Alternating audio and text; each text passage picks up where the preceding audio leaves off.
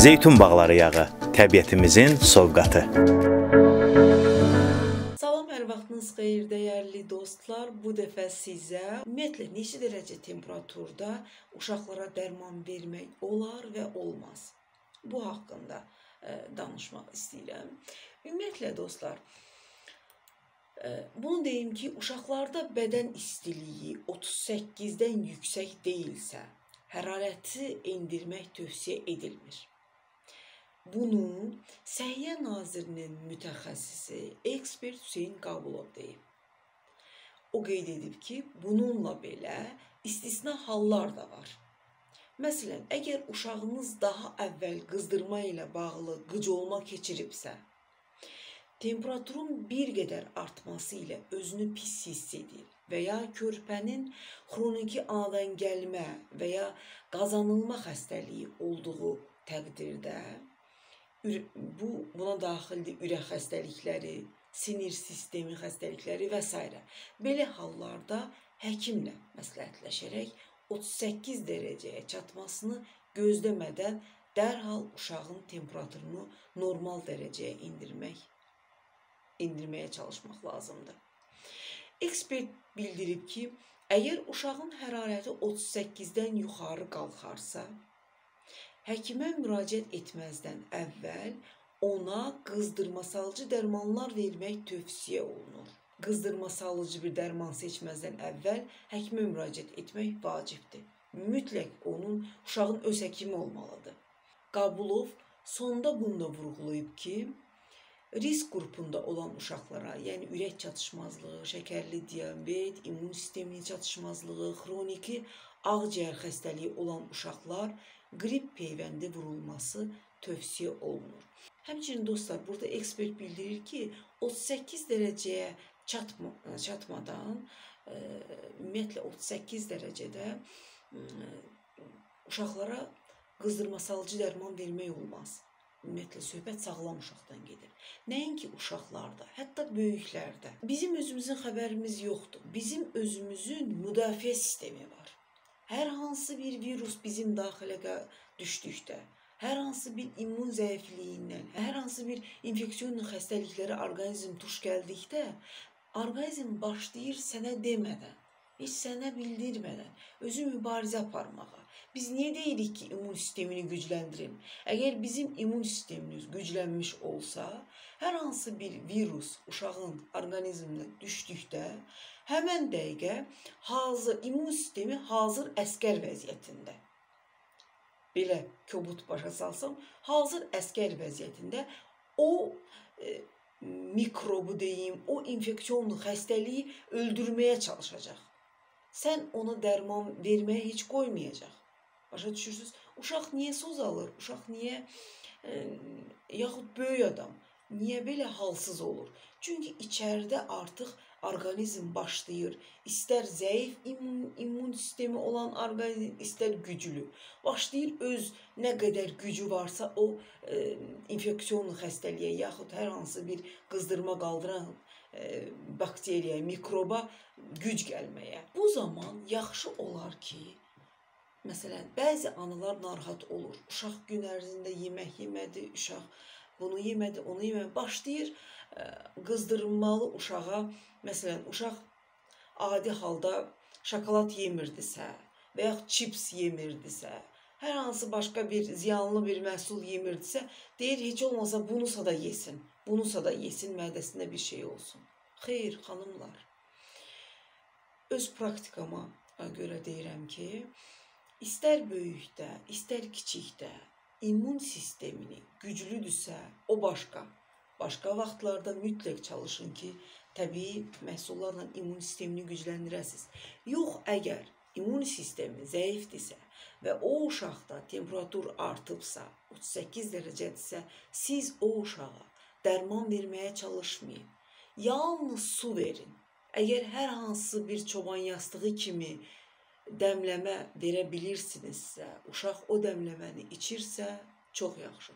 Yox, əgər övladınız o dəmləməni içmirsə, adi su istəyirsə sizdən, soyuq su istəyirsə, bəli, uşağa soyuq su verin. Adi çiy su içirsə, çiy su verin. Bəzi analar mən dəfələrlə görmüşəm, hətta bölgələrdə görmüşəm ki, ana övladına su belə vermir. Su olmaz. Çay nə istəyirsən verim, yaxud hər hansı bir kisel, şirə filan.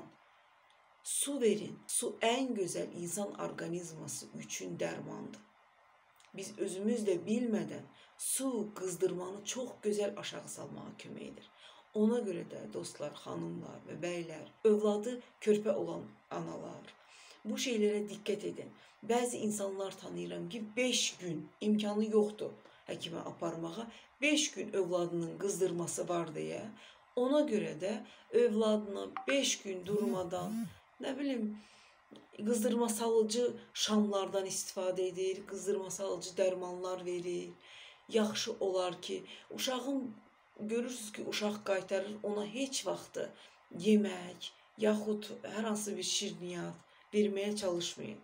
Məsələn, mən də əvvəllər e, bu şeyləri bilmirdim, amma zamanla tətbiq edə-edə öz orqanizmada, yaxın ətrafımdakı insanların orqanizmasına tətbiq edərək bunu öyrəndim ki, uşağa mütləq ə, mütləq deyil ki, siz o bu gün o uşaq yemək yeməyibsə, ona hər hansı bir şirniyyat və yaxud da hər hansı bir zorla bir yeməyi verəsiz. Qoyun o ac dursun. Eybi yoxdur, ona heç bir şey olmayacaq. Amma amma bu bu ki bir virus yayılıb, bu virusda mütləq həkimlər də, peşəkar insanlar da, bütün insanlar, hər kəs istər uşaqda, istər böyükdə qidalanmağı tövsiyə edir.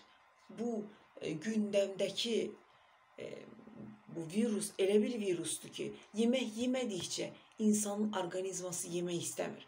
Əvvəllər qrip virusuna tutulanda ümumiyyətlə e, qrip virusu belədir ki, adi soyuq dəymə qrip virusu belədir ki, insan bir gün, iki gün qızdırma keçirdir. Ondan sonra görürsüz adamın ürəyi turş yeməklər istəyir, doyuğamı, ya nəsə hər hansı bir e, süd məhsullarımı, ya nə bilim, hər hansı bir e, yeməkmi?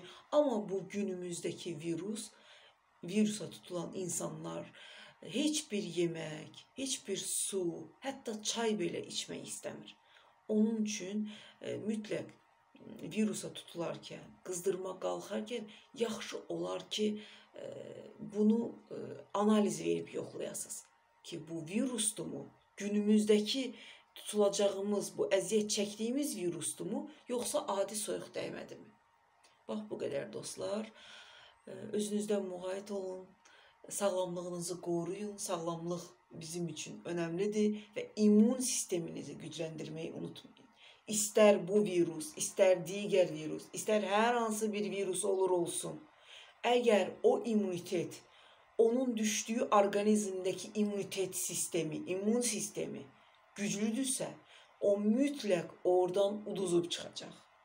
Sizin orqanizmanız qalib gələcək. Onun üçün mütləq diqqətli olun.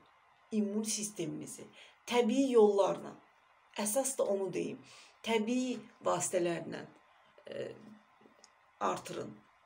Çünki immunitet sistemini mən öz ə, orqanizmimdə də sınaqdan keçirmişəm. Məsələn, hər hansı bir virusa tutulur insan, C vitamini, sink, kalsium, osu, busu içirsən, a 15 gündən sonra görürsən ki, orqanizm yenidən ə, həmin viruslara qarşı ə, mübarizəsizdir, zəifdir. Niyə? Çünki biz orqanizmamıza preparat vermişik. Amma siz istər uşaqda, istər böyükdə immun sisteminizi immun sisteminizi təbii vasitələrlə artırarsınızsa, heç bir zaman xəstələnməyəcəksiniz. Buna tam əmin olun. Və bir də mən sizə deyim ki, bu virusun qayəsi odur ki, necə deyərlər ki, bu virusun kökündə bir şey dayanır. Hani o virusa tutulan insanlar varmı? Varsa onlar məni dəstəkləyə bilərlər. Gecələr insan tər suyun içində olur heç bir zaman tərləməyən insan soyuq otaqda belə tərin içində olur. Niyə? Orqanizm yenidən soyuqlasın, zəifləsin, immun sistemi zəifləsin. Bax budur. Qayəsi budur. Ona görə də immun sisteminizi elə günü bu gündən kanalımda da var. Bu təbii videolar hazırlamışam sizə. Təbii məhsullardan immun sistemini artırmaq videosu. Baxın və immun sisteminizi gücləndirin. Sağlam qalın. Hələlik.